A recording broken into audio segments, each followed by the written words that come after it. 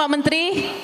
Kami siap untuk membuat desanya maju, rakyatnya sejahtera, dan Indonesia maju.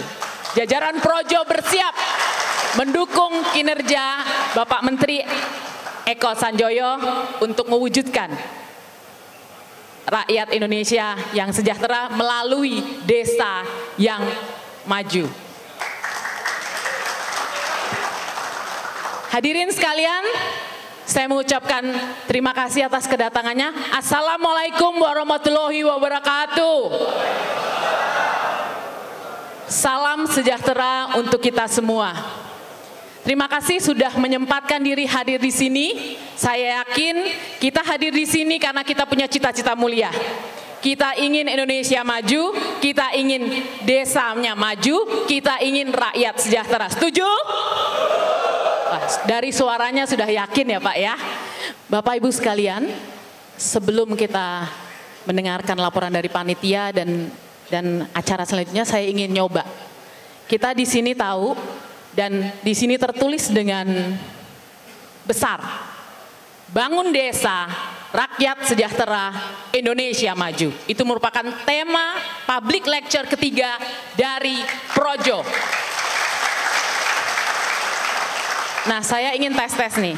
Saya ingin, saya akan bilang bangun desa, Bapak-bapak, ibu-ibu bilang rakyat sejahtera, lalu kita kepalkan bersama-sama Indonesia maju. Bisa? Ya, saya akan memulai. Bangun desa! Indonesia maju. Kita ulangi lagi. Masih belum belum pas. Satu, dua, tiga. Bangun desa! Indonesia maju. Yakin ya? Ketika desa maju, Indonesia maju ya. Begitu Pak Eko. Kita yakin jadi ini ada yang paling bertanggung jawab ketika ngomong soal desa dan sekarang sudah hadir di tempat ini. Terima kasih matur nuwun Pak Eko sudah bersedia hadir dalam undangan DPP Projo untuk public lecture-nya yang ketiga. Baik, tanpa berpanjang-panjang, saya persilahkan kakak saya yang paling cantik, dia anggota DPP Projo yang pada kesempatan ini menjadi ketua panitia penyelenggaraan public lecture ini kepada kakak atau Ibu Cahaya Sinaga. Waktu dan tempat kami persilahkan. Warahmatullahi wabarakatuh. Salam sejahtera untuk kita semua. Salam sehat untuk kita semua. Pertama-tama kita lakukan pekik kebangsaan kita. Merdeka! Terima kasih. Pak Menteri yang terhormat, Ketua Umum Projo yang terhormat, Sekjen yang terhormat, senyum-senyum kepada saya, kagum ya Sekjen ya. Yang sangat semangat mau ketemu dengan menterinya. Ya. Terlebih saya juga mengucapkan selamat khusus kepada ini Ketua Umum Persatuan Perangkat Desa Republik Indonesia. Mana Bapak Haryanto SH? Ya, terima kasih kedatangannya Pak Haryanto. Ya. Terima kasih juga untuk kedatangan semua simpatisan keluarga besar Projo, juga relawan-relawan Jokowi yang juga sudah hadir di tempat ini. Salam sejahtera untuk kita sekali lagi. Hari ini saya laporkan kepada Pak Menteri, semuanya bersemangat untuk ketemu dengan Pak Menteri, mendengarkan paparan Pak Menteri. Tadi jam 2 pagi saya selalu mendapatkan laporan-laporan dari desa yang berangkat. Kak Cai berangkat 50, Kak Cai berangkat 30, Kak Cai berangkat 100. Bahkan sekarang ada dari Papua, ada dari Aceh, apalagi Sukabumi. Sukabumi berangkat 100 orang. Sukabumi mana Sukabumi? Ya. Terima kasih sudah hadir.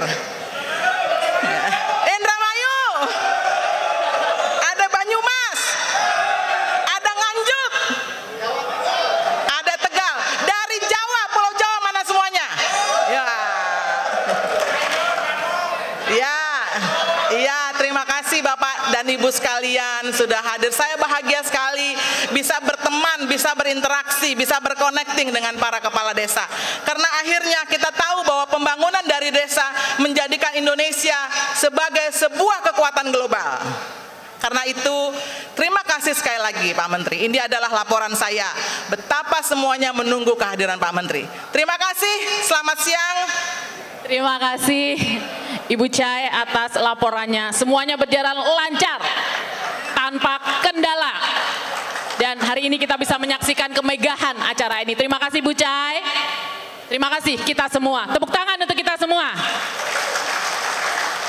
Selanjutnya saya undang Ketua Umum Projo, Budi Aristiadi untuk memberikan kata sambutannya untuk sekaligus membuka acara public lecture ketiga DPP Projo. Silahkan, monggo. Ibu Barakatuh.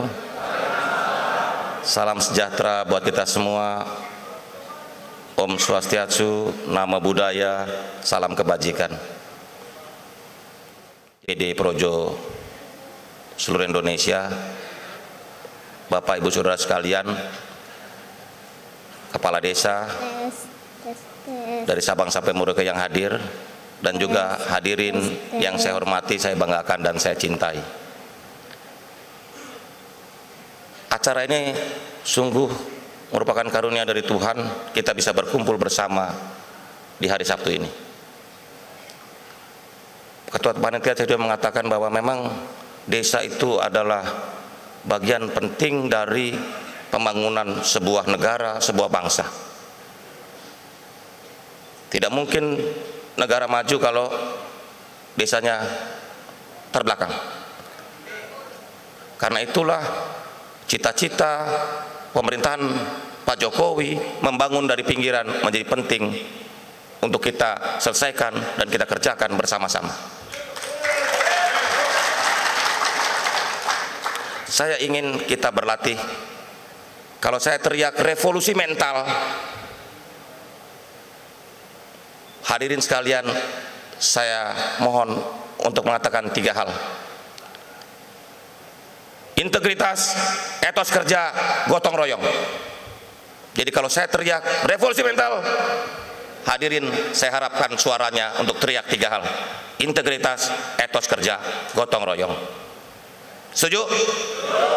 Ini mumpung siang-siang nih supaya nggak ngantuk. Revolusi mental. Sekali lagi, revolusi mental.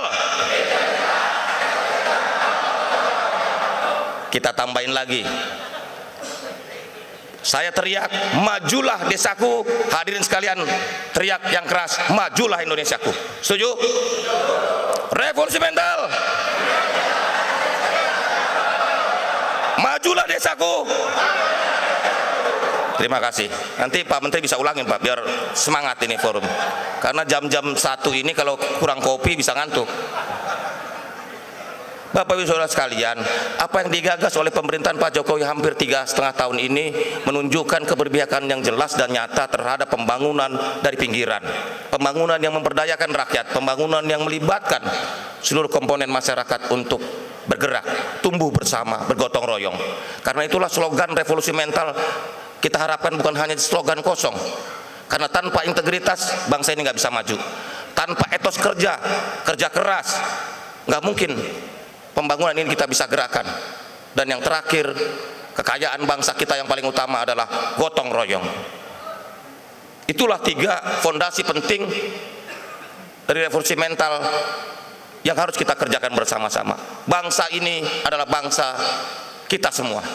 Negara ini adalah negara kita semua. Kita punya tanggung jawab sejarah untuk meneruskan cita-cita perjuangan para pendiri bangsa dan pahlawan yang sudah mengorbankan jiwa dan raganya untuk berdirinya Republik tercinta ini.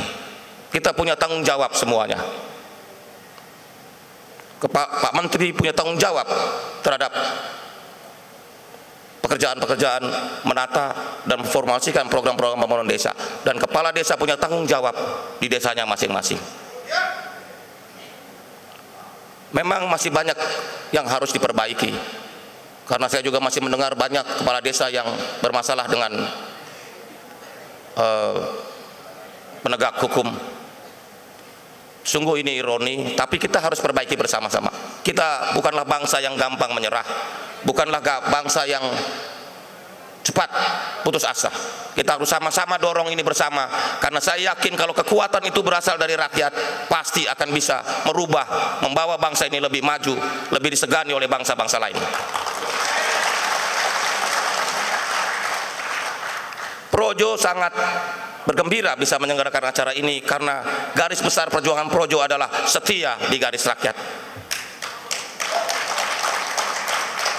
Projo percaya bahwa cara terbaik mencintai bangsa ini, cara terbaik mencintai negeri ini, cara terbaik mencintai Indonesia adalah mencintai rakyatnya. Dan cara terbaik mencintai rakyatnya adalah membangun desa lebih maju, lebih sejahtera, dan Indonesia maju.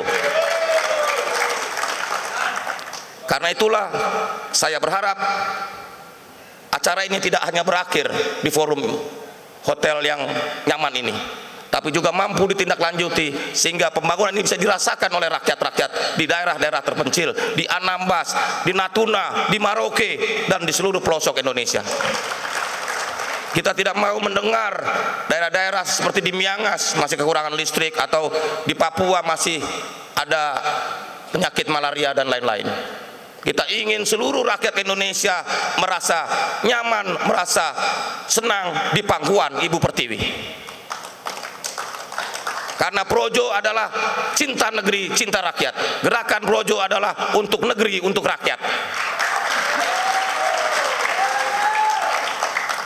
Jadi siapa pun yang mengaku dirinya Projo adalah orang-orang yang mencintai negerinya dan mencintai rakyatnya sekaligus. Karena omong kosong kita mencintai negeri kalau nggak mencintai rakyatnya. Saya tidak ingin berpanjang-panjang, saya ingin akhiri sambutan saya. Semoga forum ini bisa berguna bagi hadirin sekalian, bisa ditindaklanjuti dan bisa memberi manfaat terbaik buat bangsa ini ke depan. Masa-masa ke depan Indonesia yang maju Indonesia yang gemilang, Indonesia yang dihargai dan disegani bangsa-bangsa lain, kita mulai pada pemerintahan Pak Jokowi ini ke depan. Ini akan menjadi legasi, warisan yang terbaik buat bangsa dan negara ini ke depan. Wassalamualaikum warahmatullahi wabarakatuh. Merdeka! Merdeka! Merdeka! Revolusi mental! Ulang belum sama-sama revolusi mental majulah desaku. Majulah desaku. Terima kasih